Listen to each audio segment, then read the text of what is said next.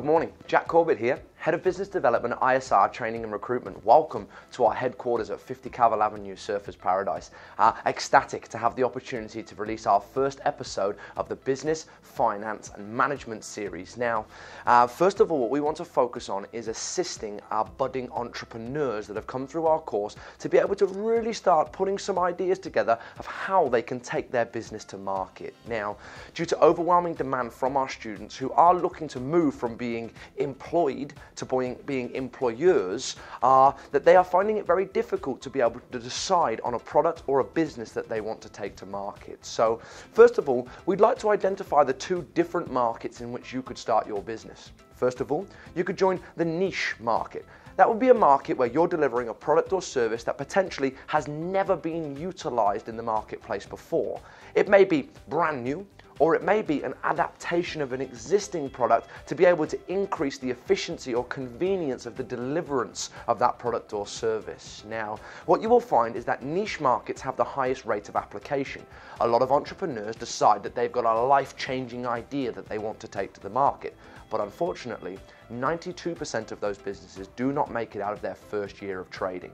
A couple of reasons. Number one, poor marketing strategies. They don't actually manage to reach their target market. Secondly, low consumer interest. You've developed a product or service that is engaging to you as the entrepreneur, but it's not actually engaging to the wider audience or to the wider customer base, therefore, not allowing you to make enough sales to be able to grow and develop a business. Also, as well as that, they get the wrong price point. You decide how much the product is worth instead of asking your audience or your market how much they would be willing to pay for it. Those are some of the reasons why niche businesses fail. Now, what we don't want to do is put you off from starting your own niche business because recognize those that do make it out of their first year into the second and third are often products that go viral. Let's look at, say, Airbnb Uber as services, maybe something like the selfie stick as a product. If you do get consumer interest, then that can grow very quickly and exponentially almost overnight. But what more people have found beneficial when starting a business is to enter the mainstream market because naturally there's already a demand for that product or service. Therefore, you can leverage off of your competition by, as long as you have a unique selling point, you can offer the product more conveniently at a higher quality or at a lower price, you're going to be able to accumulate a portion of their customer base. Then it comes down to you. Can you keep those customers? Can you wow them with the customer experience that makes them want to buy off you time and time again? If you can, there's a good chance that you're going to be able to be sustainable.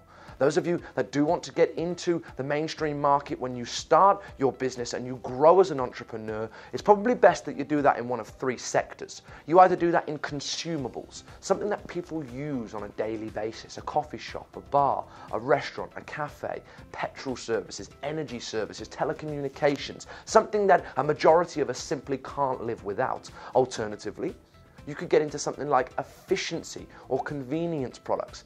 Allow people to utilize a service that they already do on a daily and weekly basis, but be able to take it to them in a more efficient time frame. Allow them to access it with exerting less energy.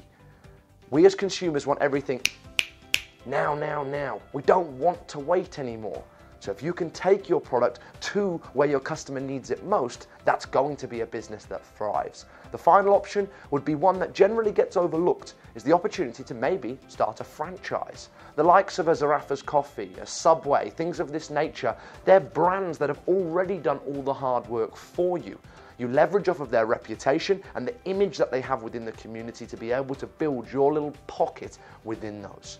Also, guys, I know some people are formally against it, but don't ever totally rule out the opportunity to use a multi level marketing system. That's an opportunity through network marketing to start a business with little to no outlay and grow a residual and passive income almost overnight. If you'd like any more guidance on how to start your business, or more importantly, how to develop your product and take it to the market, then feel free to communicate with us. Contact us at admin at isrtraining.com.au, or alternatively, get yourself enrolled on the one day entrepreneur class.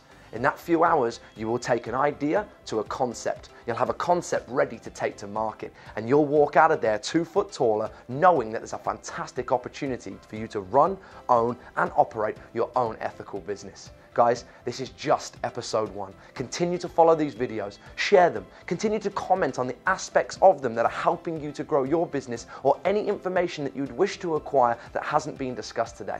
We appreciate the opportunity to have some of your time. Take care.